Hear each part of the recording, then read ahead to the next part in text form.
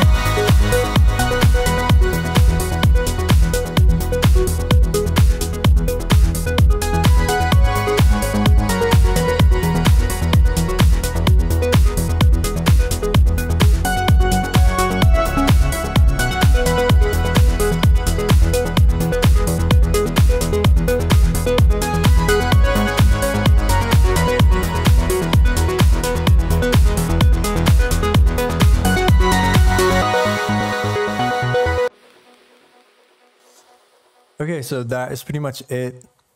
Um, as far as the MIDI goes, I'm working on a MIDI Deadmau5 pack, so I think all of this will be in there. Essentially, what I can do first is show you the sound that I created um, before I knew how he actually did it.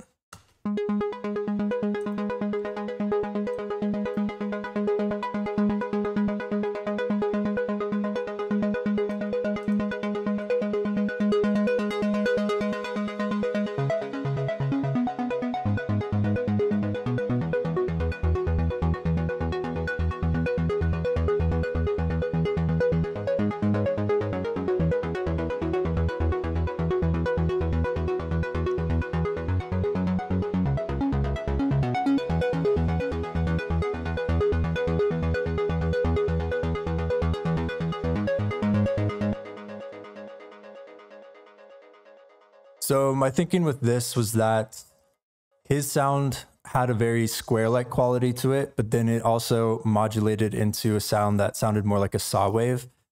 So my thinking was to create a wavetable that went from saw to square, and I could automate the wavetable position, and then have a standard pluck filter on it, and then there's definitely some crispiness to his sound and I thought it was some distortion. So I used some distortion on here.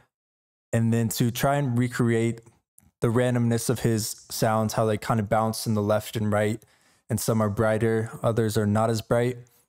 What I did is I threw this note on random on the filter frequency. So some notes would randomly be brighter than others. I put it on the drive. So some notes would be like more distorted than others. And I also put it on the pan. So some notes would be in the left and right and just be bouncing around. So we can go through that real quick. Um, I will take off the processing. So I have this saw that turns into a square. Um, so I just pulled the saw up. I added another wavetable here and then I drew in a square. And then I went to morph crossfade. So that allows us to go from a saw to a square. So with just the saw and some detune, like five voices. Sounds like this.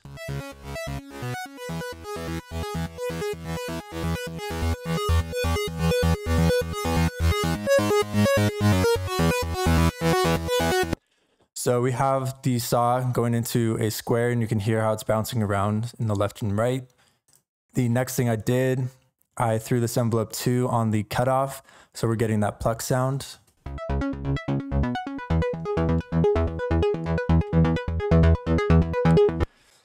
And then for the distortion, just to crispen up the attacks of those plucks,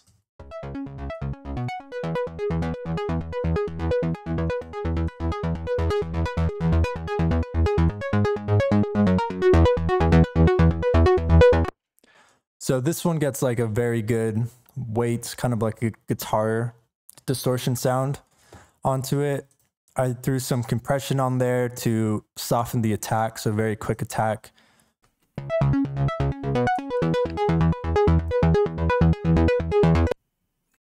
Um, the next thing after that, some reverb. And with this one, what I did is I turned the high cut and the damp very low so we're getting this huge splash of high frequency reverb and I'm using the plate setting.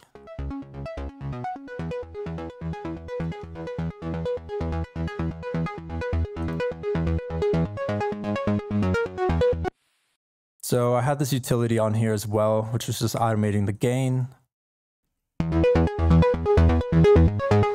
Didn't do any EQ work on this, but I threw a limiter on there to control those peaks.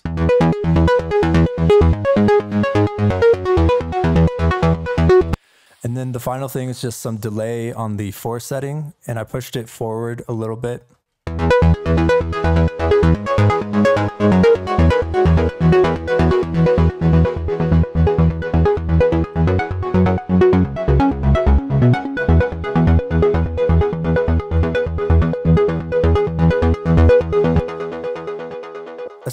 Same sound. The only thing that was different is that instead of using the distortion only, which is what Deadmau5 used to create that square sound, I actually use a square wave.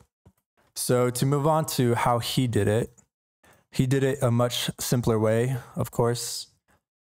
So he used this analog BD sine, and I think he found a, position in the wavetable. He might have automated this a little bit as well. But one of the cool things is he put it up to 16 voices and the detune all the way down. And that's how he got the notes to be bouncing around the left and the right. Because there's all these voices, and some of them, just the way Serum does it, are left and right. So some of the notes are randomly going to the left and the right. So that sounds like this.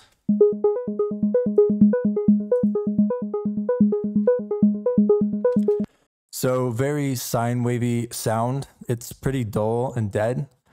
But the thing that is cool when you put some distortion on it is you essentially turn it into a square wave.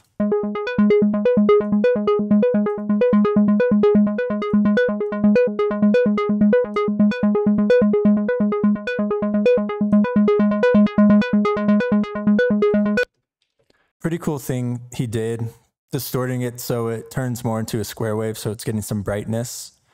And again, with those 16 voices, you're getting some random hits in distortion that are a little bit louder. The next thing he did is threw a delay on it. The 1 8 and 1 8 is the same as the 4 setting on Ableton's delay. He pushed the left a little bit down and the right a little bit up.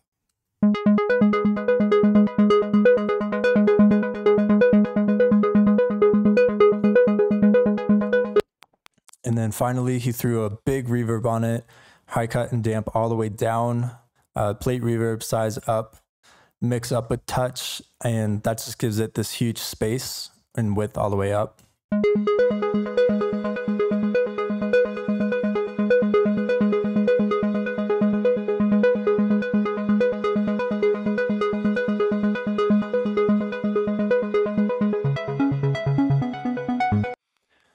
So that is the real patch, and I just did a touch of EQ to fit it in with what I had.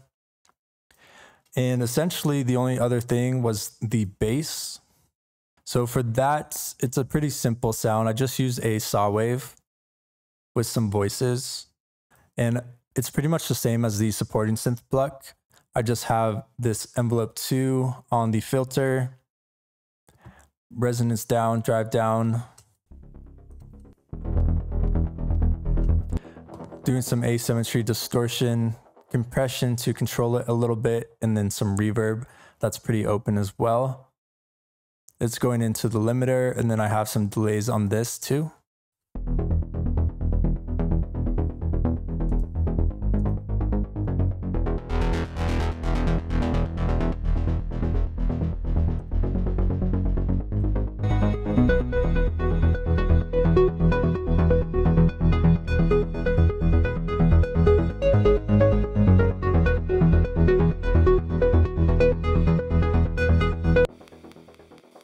Throughout the progression, what I did is I used the synth that I made as a supporting synth. So I actually turned it an octave down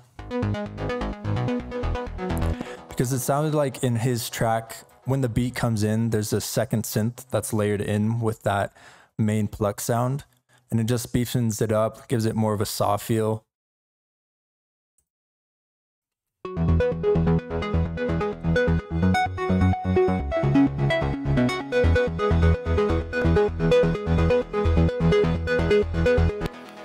Helps to have the melody roll along a little smoother, I think.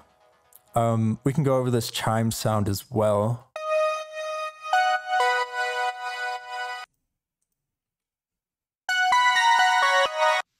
Which I love sounds like these, just reminds me of like Porter Worlds era stuff. Um, so I will take off the processing so essentially, what I did is I took this envelope one down first to create that pluck sound. And what I was doing is trying to find wave tables that have all these little ups and downs, these squiggly marks here, because the more of these small ones that you have, the more high frequency content you're going to get because these are higher frequencies.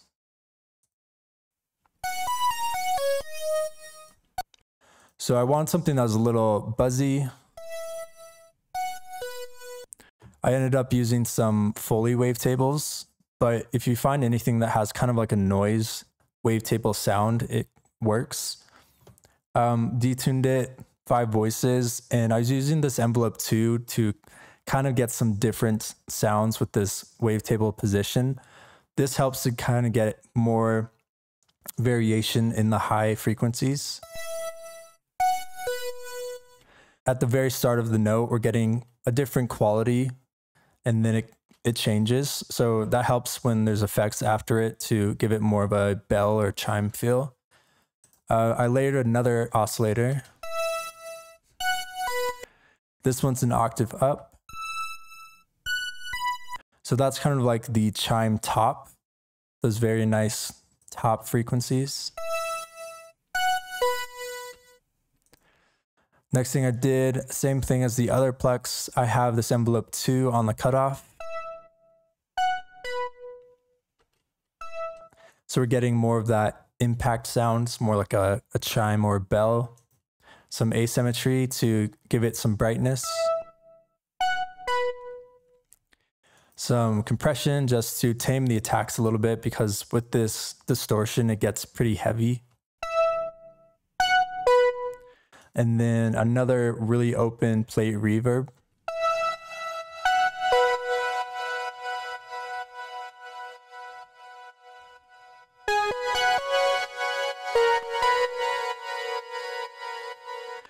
So that reverb just gives it this huge chime feel. Um, and it's helpful to remember that whatever you feed into the reverb is what creates the reverb quality. So to get that very shimmery reverb, we need those high frequencies, which is why I wanted wavetables like this. And then I just threw an EQ on here to take out some of the low frequencies that distortion created. And then just a touch of limiting to soften the peaks of each of those. Not doing much, might be doing more on these higher notes. just when there's a lot of notes very quickly, it kind of helps to tame some of that. But essentially, that is it. Um, for the pad sounds, what I did is I took the melody, turned it into chords. What I did here is, again, I'm trying to find the right character with some wavetables. So turning off this bandpass. So this wavetable gives us like some real meat, some real frequencies to give it a foundation. And then again, this very squiggly wavetable helps us to get some higher frequencies. Second thing on this is this noise oscillator. And I have this LFO 1 affecting the pan and the level a little bit. Uh, it sounded like in Deadmau5's track, the pad was going like from the right to the left and it was this very airy thing. It was more of like a noise pad. So combine that with our wavetables. And then I sent the oscillators into this bandpass filter. So we're just getting those mid frequencies, but the noise filter is free of this. So we're still able to get some higher noise. Almost sounds like waves kind of crashing slowly. And then I was just doing some more EQ work to kind of get the frequencies I needed.